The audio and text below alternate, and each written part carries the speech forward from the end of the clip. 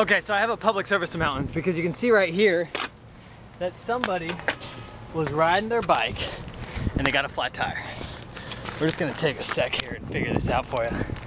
So you can see here, right on the side of the bike path, someone just tossed their tube. Now likely it has a puncture in it and the person was frustrated and they blamed it on Mother Nature to take care of their trash.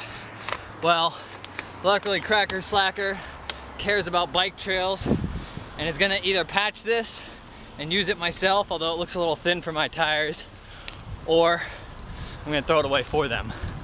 But that's one of the, um, the worst things I hate seeing on the side of the trail is someone who got so frustrated, they're like, ah, ruining my ride. I'm gonna make it even worse and pollute the planet with my bike tube.